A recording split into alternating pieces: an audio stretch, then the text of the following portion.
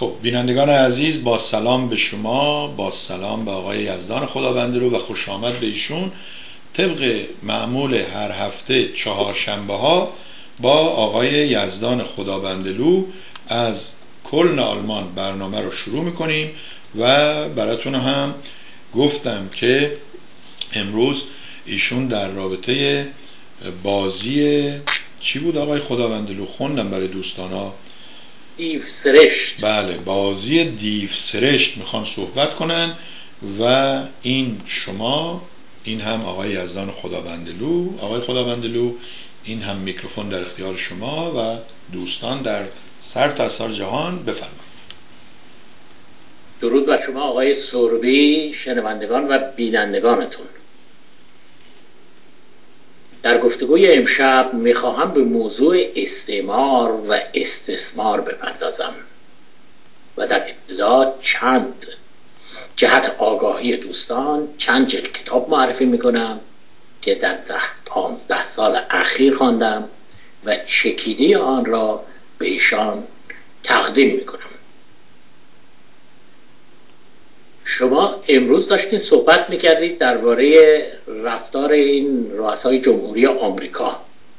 مثلا اوباما و با اون ماندالابازیش و حالا این آقای ترامپ می‌خواد چجوری باشه و سیاست های پشت پردهشون اینا مسائل مربوط به خودشونه. خب من هم اینجا اتفاقا دیدم که امروز مطلبی که ارسال کردم برای گفتگوی امشب دقیقا در همین راستاست حالا ابتدا تعریف استعمار.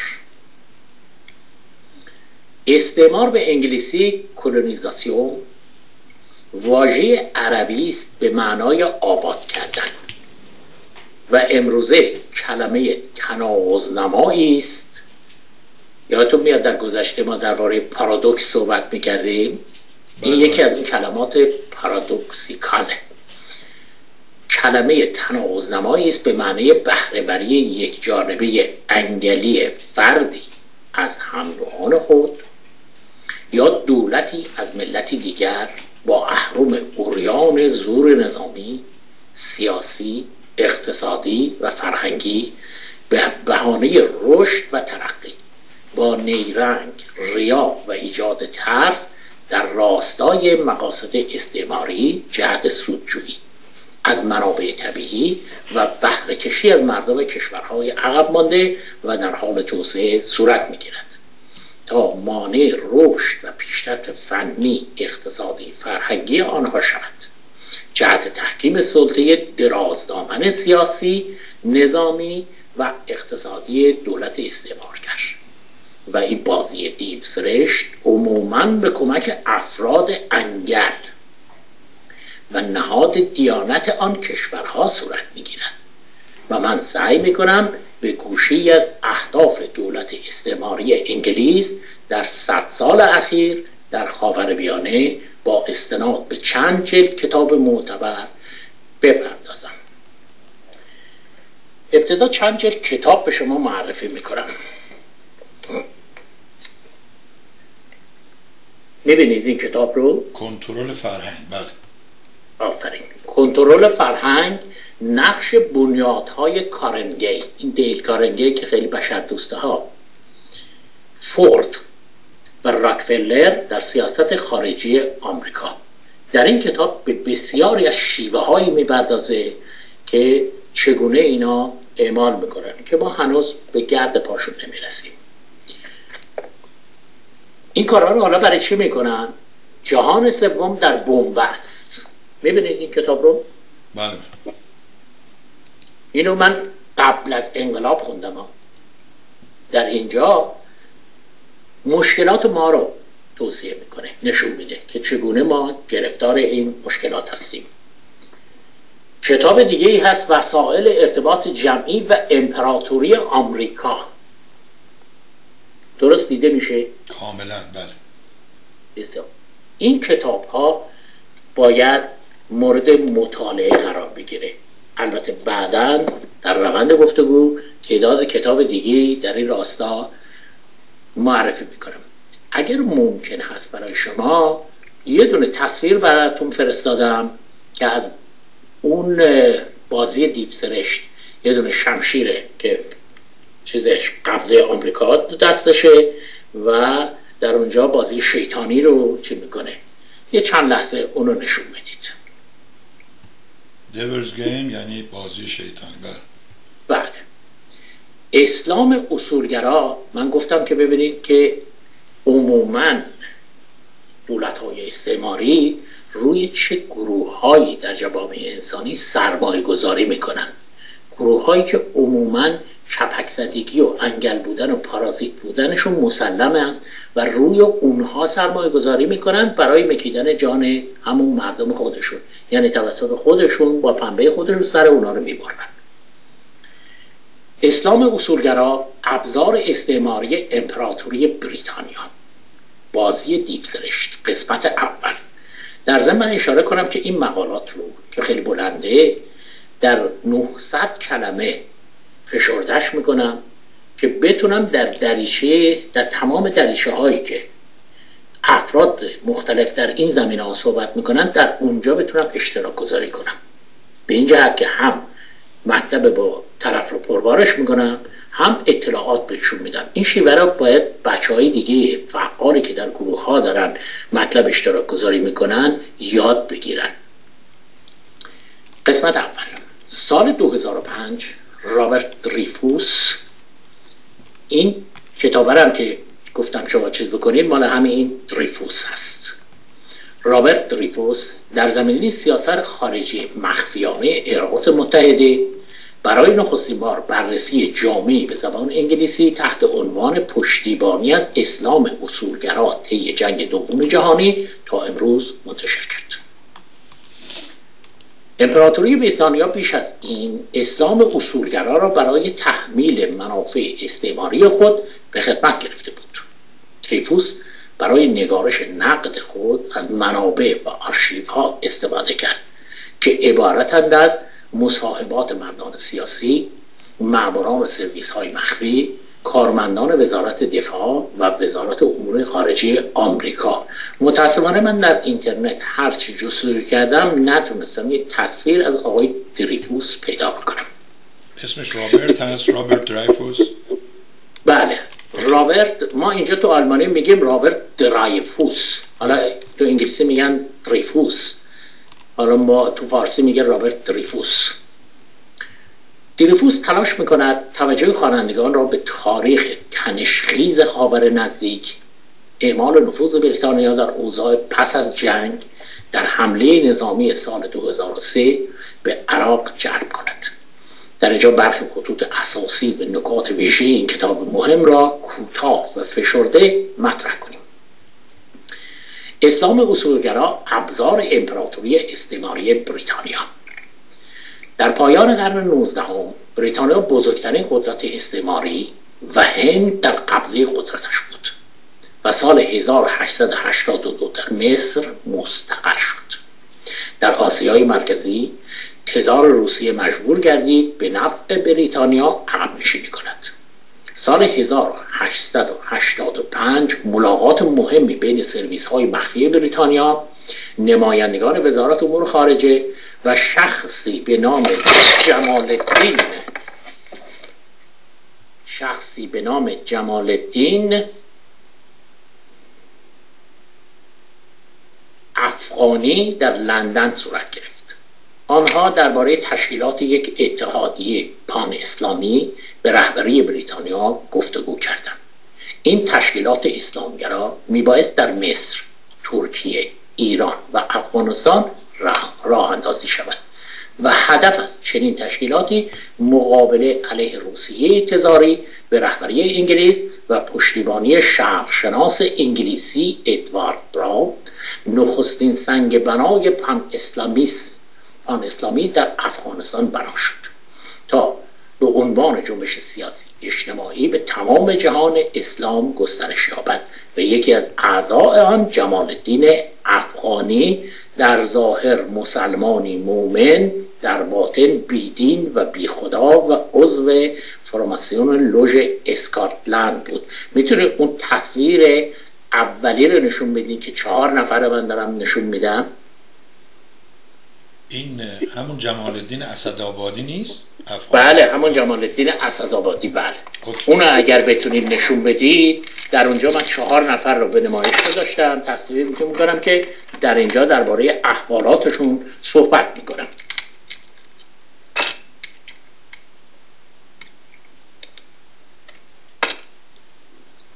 اون تصویر رو گذاشته گذاشته بسیار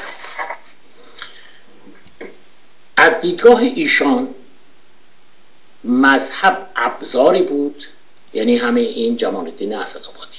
از دیدگاه ایشان مذهب ابزاری بود برای پیشبرد منافع سیاسی و محمد عبدو اسلامگرای مصری و شاگرد جمال الدین افغانی جنبش اخوان المسلمین را در کشور فراعنه بنیانگذاری کرد.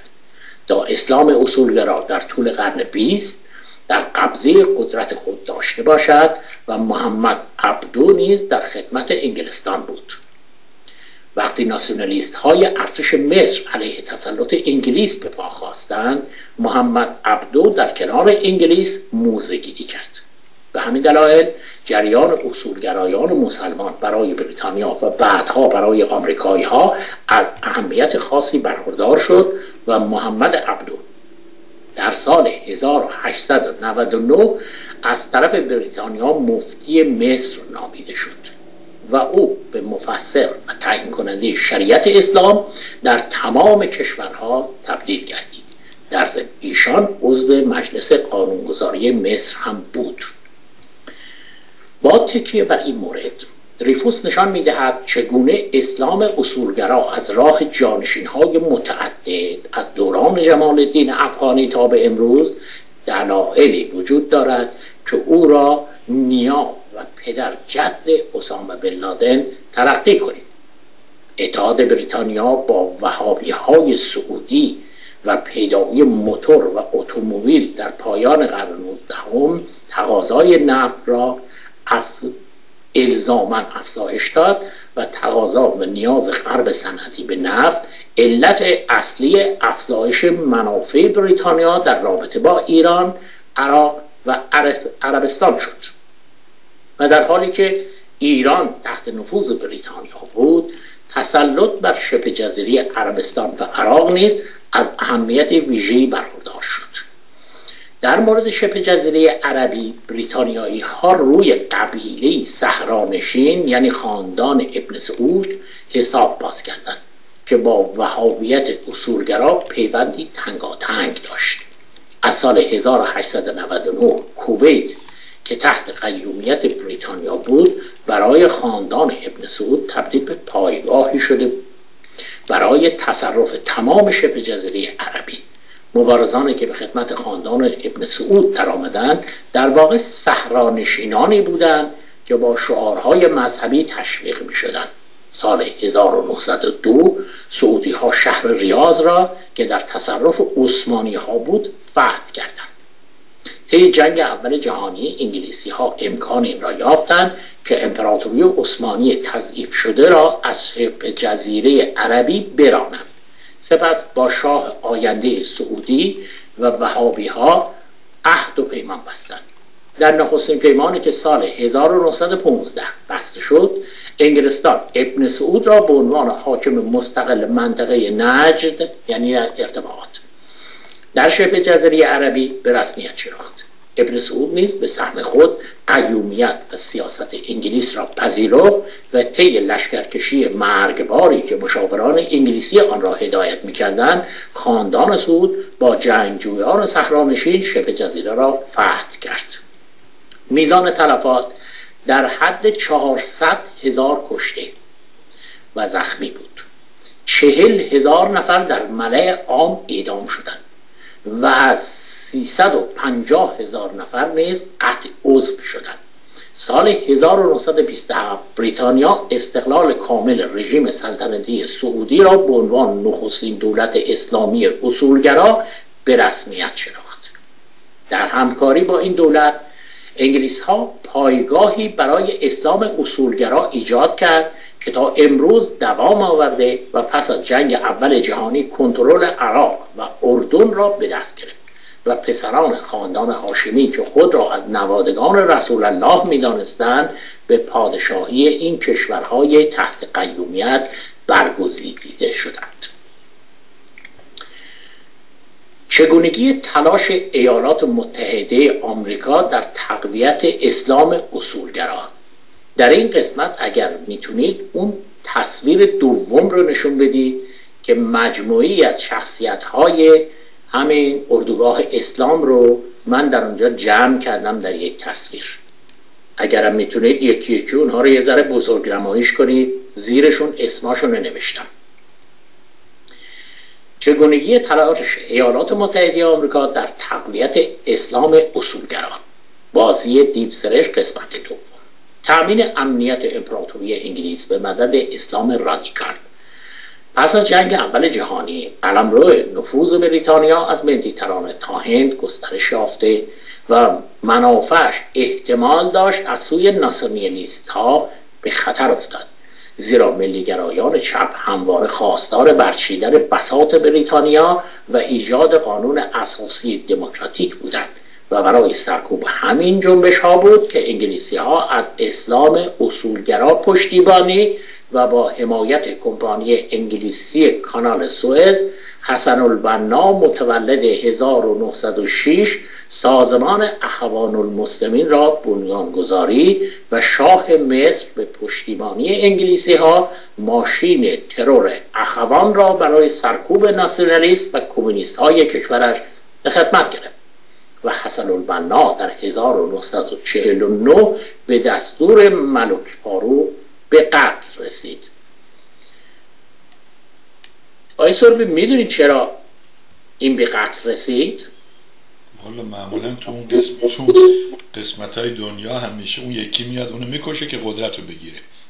چرا اصلا خصلت این انسان هایی که اصولگرا هستن و این مذهبی ها در این هستش که ابتدا از اینها جهت مقاصد استعماری سوء استفاده میشه.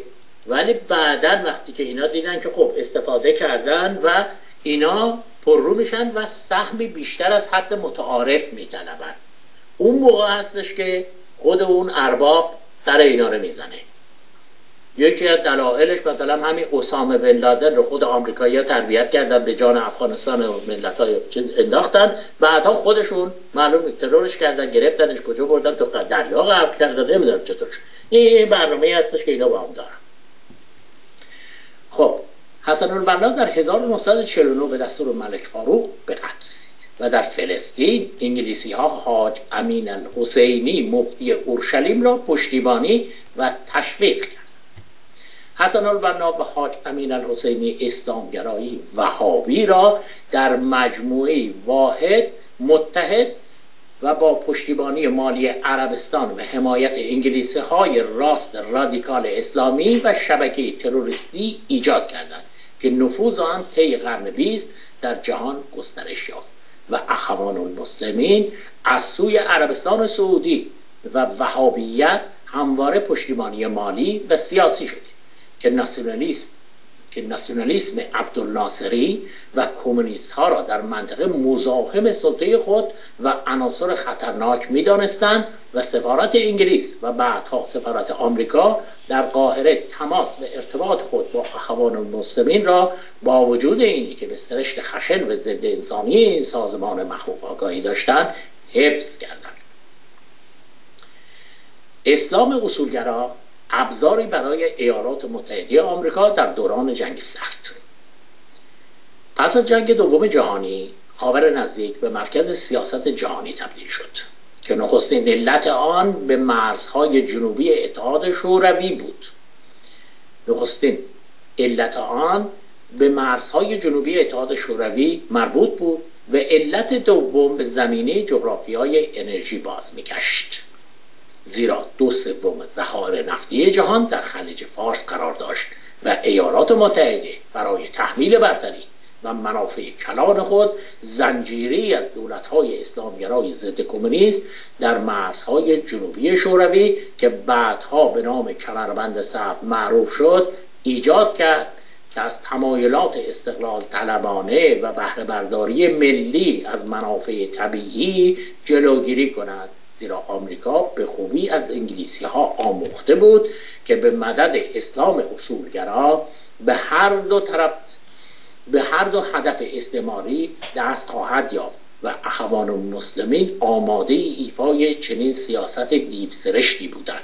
از این رو عربستان سعودی به پایگاه آمریکا تبدیل و در سال 1933 استاندارد اویل و تکساس اویل کمپانی که بعدها به آرامکو اویل کمپانی تبدیل شد از سعودی ها امتیاز بهره برداری نفت را دریافت و از دولت آمریکا خواست انگلیسی ها را از عربستان بیرون کنند.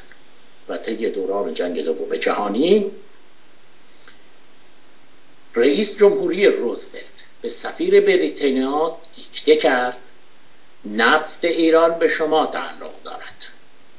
و در کویت و عراق شریک هستیم ولی نفت عربستان تنها به ما تعلق دارد. و سال 1943 روزولت اعلام کرد که از این پس عربستان در حوزه دفاعی آمریکا قرار دارد و از سوی تمام رؤسای جمهوری آمریکا دفاع از عربستان و سعودی برای ایالات متحده امری حیاتی است و مکرر تکرار شد.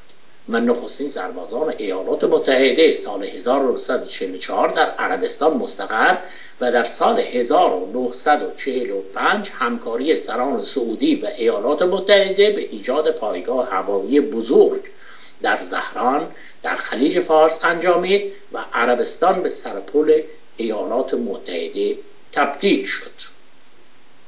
خب تا اینجا شما سوالی ندارید؟ در رابطه با بن لادن خود آمریکا میگه که کیس اون فرق می‌کرد. اینو با خاطر جنگ با روسیه راه انداختن و بعد میگه که چون ما ول کردیم آمدیم و اینها رو بدون پول و اینها گذاشتیم اینها یه مقداری ناراحت شدن و چیز کردن. اینجوری نبوده که مثل مثلا سیستم شاه و اینها بهش قدرت داده باشن بعد زیاده خواهی کرده باشه اینها هم سرش رو زیر آب کنن. این بود فقط. و حالا بعدا اگه لازم بود من یه مرتبه درباره همین بلنادن یه دور برنامه درست می‌کنم و تمام ریشیابیش می‌کنم که کجا آب می‌خورد. خب بریم سراغ این اخوان المسلمین و متفقین. اخوان المسلمین یعنی برادر مسلمان و در عمل دشمن ذاتی آنها. اینم از اون کلمات پارادوکسیکاله ها. اخوان المسلمین. ایالات متحده در دوران جنگ سرد علیه اتحاد شوروی اخوان المسلمین را که به اعمال تروریستی شهرت داشتند شرماورانه متحد معتبر تلقی می‌کرد و آنها را برای اهداف پلید قابل استفاده می‌دانست. چون این جماعت علیه مارکسیستا دانشجویان و ترقیها سندیکاها ملیگرایان سوسیالیست های عرب حزب بعث و تمام جریان های لایک اردوگاه اسلام مبارزه می‌کردند و در سال 1953 رئیس جمهور روزولت از سعید رمضان یکی از سران اخوان المستوی در کاخ سفید استقبال به عمل آورد. اخوان المسلمین ابزاری در خدمت سرویس های مخفی غرب. در آغاز سال 1950 دو شخصیت سیاسی ملیگرا نفوذ با اهمیتی کسب کردند. محمد مصدق در ایران و جمال عبدالناصر در مصر. و سال 1953 مصدق به, به صورت دموکراتیک به عنوان نخست وزیر برگزیده شد. او شرکت نفت انگلیسی به ایران را ملی اعلام کرد. و عمل ایشان خوشایند انگلیسی ها و آمریکایی ها نبود و در همکاری تنگاتنگ با آیت الله ها MI6 سازمان سیاه عملیاتی به سرپرستی آیت الله کاشانی سازماندهی کردند که در خدمت سیاه بود. آخوندهای شیعه از جمله آیت الله خمینی توده ها را علیه مصدق شورانیدند پس از سقوط مصدق شاه تاج و تخت خود را باز یافت و شرکت نفت ایران دوباره خصوصی و به انحصار دربار درآمد و پنج کمپانی بزرگ نفتی آمریکا چهل درصد از سهم بریتانیا ها را از آن خود ساختند و سال 1979 یعنی زمانی که انقلاب صورت گرفت ملاها که در سال 1953 با پشتیبانی مالی سازمان سیاه آمریکایی شاه را به تخت و تاج بازگردانده بودند مردم را برای سرنگونی شاه شوراندند و در مصر ناصر رهبر جنبش افسران آزاد شاه انگلیسی ملک فاروق را از سلطنت خل و قدرت را به دست گرفت. این حرکت آزادی خواهانه و بیرون آمدن از یوغ و قیومیت امپراتوری بریتانیا در جهان اسلام انعکاس گسترده یا و احتمال داشت پس لرزه های آن به عربستان سعودی برسد. بریتانیا و ایالات متحده برای حفظ نفوذ سیاسی و کنترل منافع نفتی شدیدا نگران شده و MI6 و سیاه سعی کردند از اخوان المسلمین در مصر که به عربستان سعودی پناهنده شده بودند ناصر را سرنگون کنند و موفق نشدند سال 1970 عبدالناصر فوت کرد و انور السادات قدرت را به دست گرفت او عضو قدیمی اخوان المسلمین بود توجه می‌کنی؟ بله. عکسش اونجا من گذاشتم او عضو قدیمی اخوان المسلمین بود و با عربستان سعودی اتحادیه تشکیل داد. جنبش چپ مصر را سرکوب کرد. اعضای اخوان المسلمین را به مصر بازگرداند و با اسرائیل و آمریکا توافق کرد. شما می‌دونید که زمانی که عبدالناصر ناشیانه و جاهلانه یه دفعه یابو برش داد بلند شد رفت به اسرائیل حمله کرد. یادتون میاد؟ بله دیگه و اسرائیل بلند شد با هواپیماش رفت تو بیابون. این عبدالناصر یه حدود مثل که 100 تا 200 تا هواپیمای جنگی داشت و برده بود تو بیابون اینا رو اونجا تو پارکینگ قرار داده بود. اسرائیل هم از اون بالا همه اینا رو زد و مثل اصطلاح شد از داشتن هواپیمای جنگی. و بعدم که این شکست بزرگ خورد دق کرد مرد خب آمریکای توافق و اخوان المسلمین علیه سوریه تا سالهای 1970 می جنگیدن و ایالات متحده پیش از پیش نفوذ خود را در خاور میانه خاور نزدیک افزایش داد. با این وجود نفوذ ایالات متحده تنها در عراق، سوریه و سازمان آزادی بخش فلسطین و لیبی متوقف شده بود. و با یمن همکاری های اسرائیل، مصر، اردن و رژیم های سلطنتی خلیج فارس ایالات متحده کوشید تا این مناطق را نیز تحت کنترل خود بگیرد و با توافق ضمنی ایالات متحده اسرائیل و شاه حسین که نامش در فهرست حقوق بگیران سازمان سیاه سر رسیده مخفیانه اخوال المسلمین را در سوریه تشویق کردند.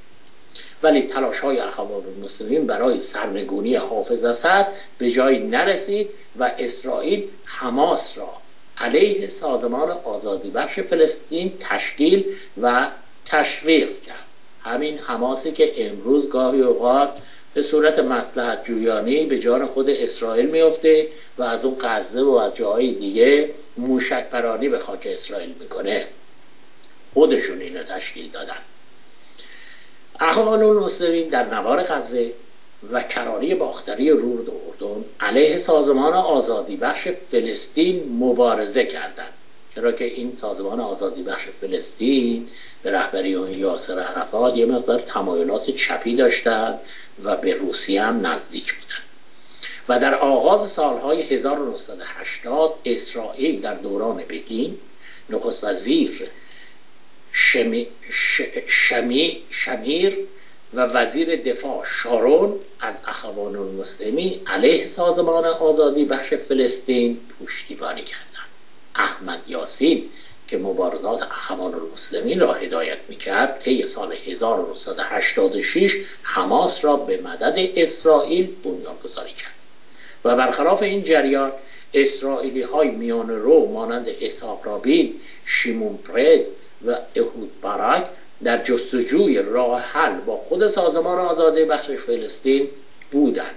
هر بار که با یکدیگر به تفاوق می رسیدند و می‌رفت تا گامی برای صلح به پیش بردارند حماس وارد کارزار می‌شد و با اعمال تروریستی خشونتبار گفتگوی صلح را به شکست میکشانید. این چشمانداز سال 2000 تکرار شد. مذاکرات تازه بین اهود باراک و سازمان آزادی بخش فلسطین به صلح نزدیک می‌شد. با بازدید از کوه معبد اورشلیم شارون موجب تحریک حماس شد و از این تاریخ فرایند صلح در نقطه مرگ متوقف شده است. خب سوالی. سوالی آیا هستش یا ادامه بدم؟ نه جالبه ادامه بده بسیار خوب. حالا اون تصویر بعدی رو می‌تونید نشون بدید. اسلام به عنوان شمشیر یا اسلام به عنوان کمربند سبز. بازی دیپسرش قسمت سوم. از ابتدای برپایی کمونیست ایالات متحده کوشید برای جلوگیری از نفوذ شوروی حصاری از دولت‌های اسلامی ضد کمونیست در مرزهای اتحاد شوروی ایجاد کند و با جنگ در افغانستان در آغاز سالهای هشتاد اسلام اصولگرا را به عنوان ابزار جنگ مقدس علیه شوروی به کار گرفت و جهاد قرار بود علیه کشور شوراها در جمهوری های آسیای مرکزی و در افغانستان صورت گیرد و با تبلیغات از راه رادیو لیبرتی بران بود تا اقلیت مسلمان در جمهوری های شوروی در آسیای مرکزی را علیه مسکو بسیج کند. اما این طرح با شکست رو شد. با این وجود در افغانستان جهاد علیه روس ها ادامه داشت. زیرا در جامعه سنتی افغان اسلام از کر و فری برخوردار و در اعتقادات و بافت قبیلگی از قرنها پیش جا خوش کرده و رابطی آشکار و نهان در پیوند و جهان سیاست داشت و در آغاز سالهای 1960 در بازگشت دانشجویان افغان به کشور که الهیات اسلامی در دانشگاه الزهر قاهره خوانده بودند دچار تحول شد. این دانشجویان با اخوان المسلمین مصر پیوندهایی ایجاد کرده و افکار آنها را جذب کرده بودند. در دانشگاه کابل با خشونت به دانشجویان مدرن چپ و کمونیستان حمله می‌کردند. در آغاز سالهای 1970 جنبش اسلامی افغان پیرامون همین هسته شکل و در ارتش نفوذ کرد و سال 1973 محمد داوود خان شاه افغانستان را سرنگون و جمهوری اعلام کرد. اما محافظگاران اسلامی به پشتیبانی زلفقار علی بوتو در پاکستان و شاه ایران آشکارا با این طرح مخالفت کردند. سازمان سیانیست از این مقاومت اسلامی پشتیبانی کرد و سال 1978 دولت داوود خان با کودتای سوسیالیستی سرنگون و دولت جدید با شوروی ها عهد و پیمان بست و در مارس 1979 راست اسلامی افغانستان شورشی با پشتیبانی سیاه از راه سرویس های مخفی پاکستان هماهنگ ساخت و ایالات متحده آمریکا امیدوار بود که شوروی ها را به اشغال افغانستان تحریک کند و در پایان سال 1970 شورشیان سه چهارم کشور را در تصرف خود گرفتند و روسها کشور را اشغال کردند و مشاور امنیتی جیمی کارتر برژنسکی شاد و مسرور دستهایش را به هم میمالید و می‌گفت این عملیات مخفیانه طرح خیلی خوبی بود و موجب شد که روسها در دام افغان بیفتند و شوروی ها رسما از مرز افغانستان عبور کردند. من به رئیس جمهوری کارتر نوشتم اکنون اتحاد شوروی اتحاد جماهیر شوروی جنگ ویتنام خود را آغاز کرده است. اظهارهای 1980 مسلمانان توسط جهاد علیه شوروی ها بسیج می شدن و در اردوگاه ها تمرین نظامی در افغانستان آموزش می دیدن. بر اساس گزارشات سیاه 300 هزار مجاهد مسلح تشکیل شد که 35 هزار نفر از آنها از کشورهای دیگر آماده بودند به هنگامی که روس ها افغانستان را ترک گفتند این کشور تخریب شده این کشور تخریب شده و مردم گرسنه بودند و اربابان جنگ برای کسب قدرت بین خود با یکدیگر می جنگیدند در سرتاسر سر افغانستان نیروی میانه و ترقیفا رو به خاموشی رفت. زیرا مجاهدین در دوران جهاد علاوه بر سربازان روز افغانهای میانه رو و چپ را نیز را میگشتند میراث جهاد. دریفوس بر این باور است که آمریکایی ها آنچنان سرگرم جنگ علیه شوروی با میانجیگری افغان ها بودند متوجه نشدند که با پشتیبانی از جهاد اسلامگرایان در حال به وجود آوردن نیروی مخرب دیگری هستند.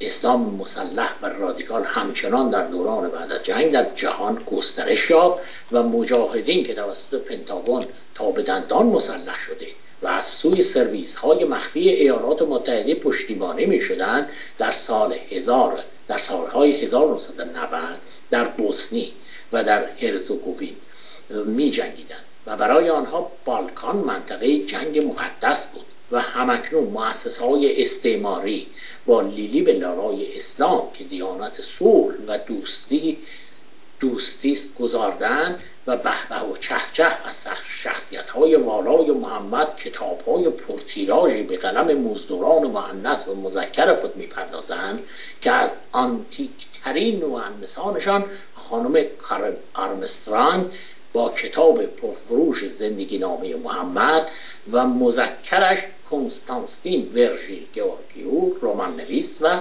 نویسنده معروف رومانیایی با کتاب محمد پیامبری که باید از نو شناخت و قلم به دستان ریز و درشت دیگری در عمل این دیانت ابلی در عمل این دیانت ابلیس صفت را در اردوگاه اسلامی و در حوزه نظر در جهان انگلیسی زمان تقویت می کنند زیرا اهرام خوبی است برای تخریب و از میان بردن مدنیت های کمتوان و ضعیف بنیان و در این سالهای اخیر داعش هم به جدول پرازیت های القاعده و انگل های طالبان افزوده شده است. شما می‌تونستید که تصویر این خانم کارن آرمسترانگ رو هم نشون بدید با اون کتاب محمد؟ بله. در اینجا یه دونه تصویر دیگه ای من برای شما فرستادم که این خانم نشون میده کتابش نشون میده و چند کتاب دیگه ای که مثلا محمد پیامبری که از نو شناخت و اون مردی که عینک گذاشته ورژیل جورجیو اینو من قبل از انقلاب این کتاب رو خوندم. و یه دونه تصویر یه عکس دیگه ای هستش که آقای مکه نمیسته که این چیز داره این داعش رو اونجا بهش مدال میده. ما چند دقیقه دیگه وقت داریم آقا؟ 22 دقیقه. 20 38 دقیقه 22 20 دقیقه دیگه وقت داریم بله بله. خب. اگه شما سوالی ندارید من ادامه بدم. بفرمایید ادامه اسلام و کشتار انسان ها در ابعاد میلیونی.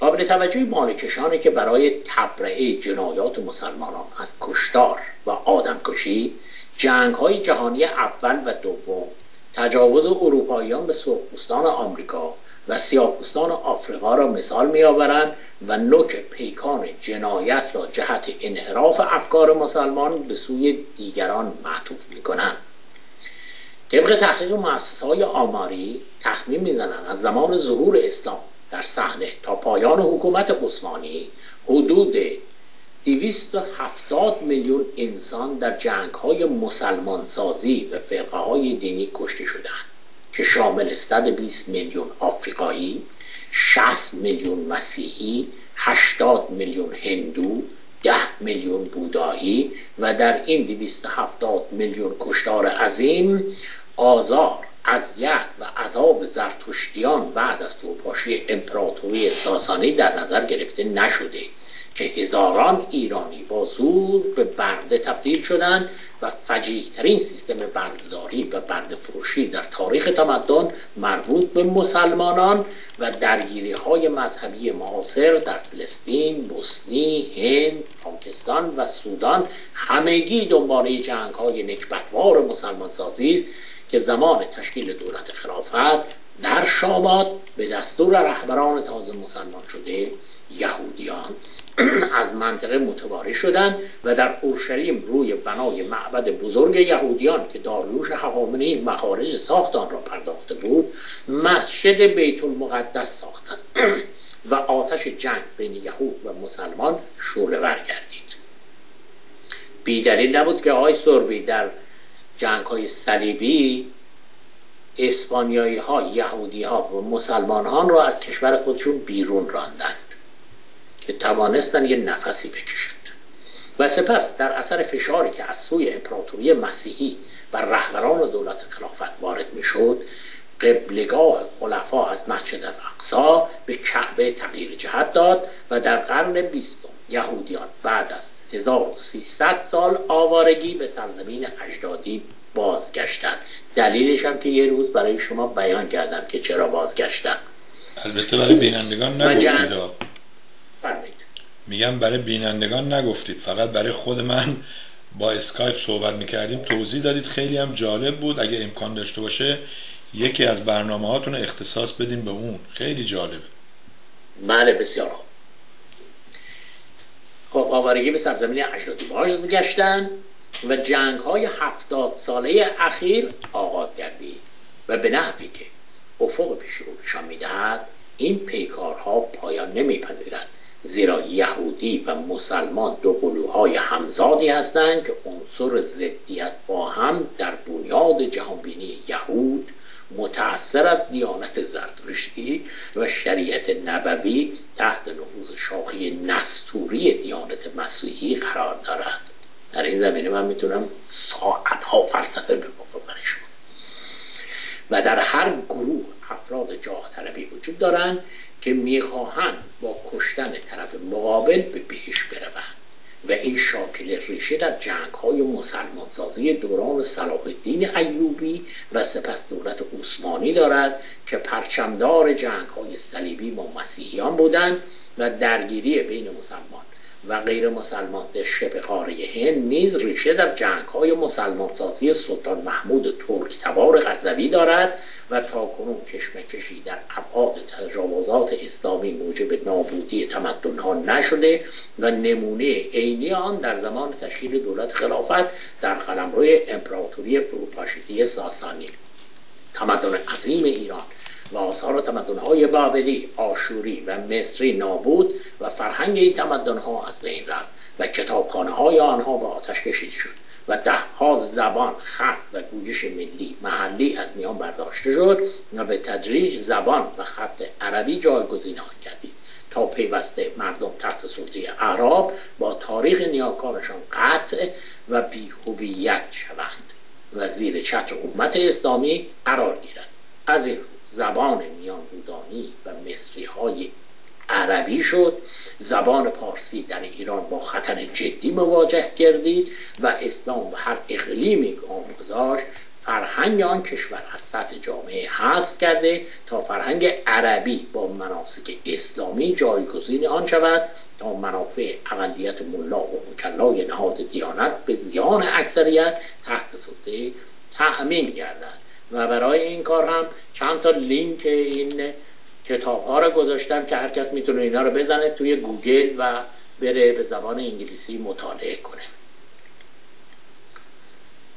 اگر سوالی ندارید ادامه بدم. فقط لطف کنید بعدا این لینک ها رو زیر ویدیوتون روی فیسبوک هم بذارید. ضمنا یکی از دوستان توضیح داده که با وجودی که توی فارسی ما به برادر اخی و عربام ارخی میگن و اخوان میگن ولی اسم این سازمان اخوان المسلمین درسته.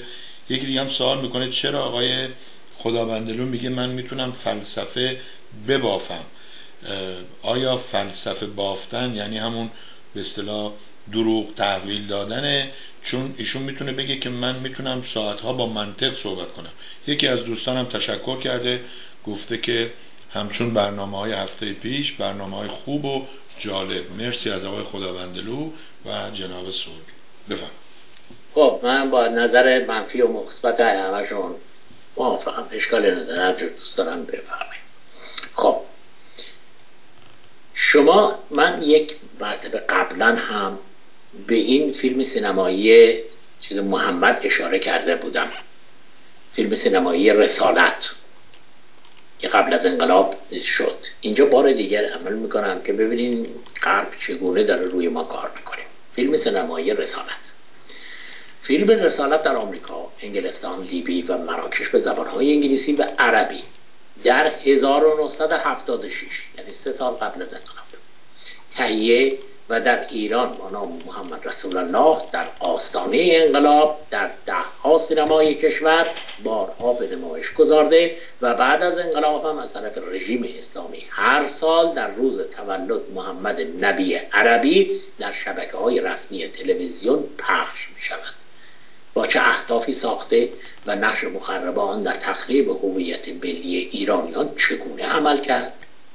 بازی دیو سرشت سلطه اسلام در هزاره اخیر بر روان و فرهنگ ایرانیان با جمیع امکانات مادی و معنوی نظیر قرآن، کتب حدیث، اشعار شاعران و حکایت های نویسندگان در اماکنی مثل فیزیه ها، مسجد ها، تکیه های عزاداری توسط لشکر چند صد هزار نفره ملا و مکلایان در مراکز در مراسم پرخرج آشورا، محرم، سفر و روزهای ضربت خوردن وفات تولد و شهادت امامان معصوم پیوسته بمباران می‌شد و گویا تزریق سموم فلجزای خرد و اندیشه کم بود که در هفتاد سال اخیر نوارهای ضبط صوت بلندگوها در اماکن عمومی رادیو، تلویزیون و سینما هم به سبد مواد تخریبزای روان مردم محجوب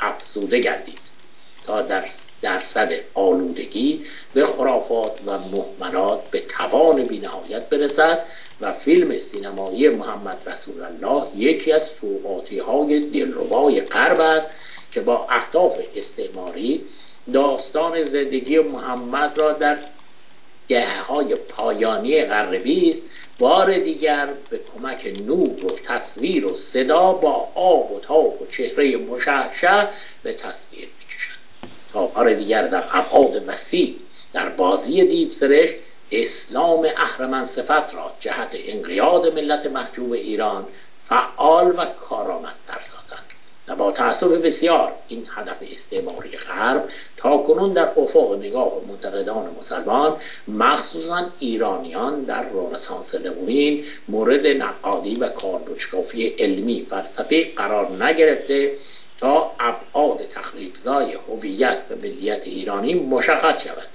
که به تایید انجمن اسلامی عربستان دانشگاه اسلامی ازهر انجمن شیعیان لبنان و دیگر مراجع شیعه و سنی رسیده و مستوا مصطفا قاد کارگردان فیلم و دخترش سالها بعد در یک عملیات تروریستی توسط القاعده در یکی از هتل‌های اردن کشته شد.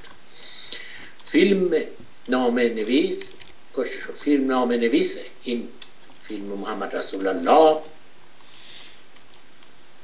ه الف ال غریق توفیق الحکیم عبدالحمید جوده الحصار احمد شلبی و عبدالمنعم النمر. موسیقی مد موریس شار این موریس شار رو شما می‌شناسید؟ یکی از بله. موسیقدان های برجسته فرانسوی که به خدمت گرفته میشه که برای این فیلم استعماری موسیقی متن درست کنه. فیلم بردار جک هارلیار بازیگران آنتونی کوین ریچارد جانسون ایرین پاپاس مایکل ناسارا اندری مورل نوویل جیکسون گریک هیکن روزالی کراچلی مایکل فورس دیمین توماس جانی سکا دونالد برتون ولف موریز لئونارد ترولری آرل کامران حسن جندی. خب بازی دیو سرشت کتاب زندگی نامه پیامبر اسلام را خانم کارل آرمسترانگ بار دیگه می‌تونید تصویر این خانم نشون بدید؟ به اون کتابش؟ بله. سال 2001 نوشت. و کیانوش حشمتی آن را در سال 2004 در ایران اسلامی که صدها جلد کتاب علمی، تاریخی و فلسفی در اداره سانسور سالها در انتظار اجازه انتشار خاک می‌خورد به سرعت ترجمه و توسط انتشارات حکمت به چاپ رسید. این غربی ها برای انتشار این گونه کتاب های استعماری لشکری از مترجمان مزدور در اختیار دارن که به سرعت اینا رو منتشر می‌کنن و با حمایت های دولتی هم در ابعاد نجومی به چاپ میرسونن و حتی رایگان به بسیاری از افراد میدن. کارل آرمسترانگ یکی از قلم به دستان خطرناک استعمار جهانی در بازی دیو سرشت و از برجسته ترین صاحب نظران دین در جهان انگلیس زبان است. اینا می‌دونید؟ تلاششون تنها تخریب مردم کشورهای مسلمان نیست بلکه خود کشورهای غرب و آمریکا و اروپا را هم اینا قبلا شستشوی مغزی میدن. ایشون یکی از صاحب نظران دین در جهان انگلیسی زبان است که هفت سال از عمر خود را در مسلک راهبه کاتولیک در کلیسا سپری کرد. و احوالات خود را در زندگی نامه پرفروش از میان معبر باریک به نگارش درآورد وی معلف کتاب های پرفروش تاریخچه ای از خدا. شما حساب بکنید می‌بینی زن انگلیسی آمریکایی غربی نشسته درباره تاریخچه خدا مطلب بنویسه بعد از 400 سال که اصلاحات دین در اروپا صورت گرفته. کتاب کنون به سی زبان ترجمه شده و اسلام تاریخ و اسلام تاریخی کوتاه و کتاب بودا از مجموع آثار ایشان است. او در مقدمه کتاب انباشته از مقلته و سفزتهاش می‌گوید بیشتر همه پیامبر صرف جلوگیری از برخوردهای وحشیانه گردید. آقای سربی بیشتر برخوردهای محمد برای جلوگیری از برخوردهای وحشیانه بوده؟ والا نمی‌دونم. خودشون مثل که ادامه میده میگه زیرا لغت اسلام که به معنای تسلیم بودن در برابر خداست از ریشه سلام به معنای صلح گرفته شده است. مغلطه ها رو می‌بینیم می‌کنه محمد مرد جهاد بود. اون بالا میگه نمیسه که این آدم صلح طلبی بود. بعد از این طرف میگه که این محمد مرد جهاد بود. ولی یک صلح طلب واقعی هم بود. زیرا جان و اعتقاد نزدیکترین یاران خود را در جریان صلح با مکه به گرو گذاشت. یعنی اینم تحت تاثیر همون محملاتی هستش که اون چهار کتاب تولید کردن و ریختن ذهنیت کل جهان. اینم همونا رو داره ترجمه جدیدی می‌کنه. تا این اتحاد بدون خونریزی انجام رسد. بله با مکه که همشهریاش اونجا بودن. شما می‌دونید درباره این حمله به مکه چیز توی اون 23 سال چی میگه؟ حالا دو تا آخه دو تا موضوعه. بعضیا حتی میگن اون محمدی که توی مدینه بوده بعدا کشته شده. درست همون ماجرای بردیا و به اصطلاح چیز انجام شده و یه نفر دیگه آمده گفته من محمدم و اون محمدی که توی بعدا مکه کشت و کشتار می‌کرده این فرق می‌کنه. بله همچین دوره هم هست. ولی اونجا اصلا ساعت میگه که چیز این 23 سال رو کی بود نوشت؟ الان یادم رفت کتاب اینجا هست. بله منم الان اسمش یادم رفته. بله ایشون میگه که اونجا وقتی که می‌خواست به مکه حمله بکنه چون تو مکه تمام اقوامش و چیزاشون اونجا بودن هم مال خودش هم مال اون لشکریانش که جمع کرده بود.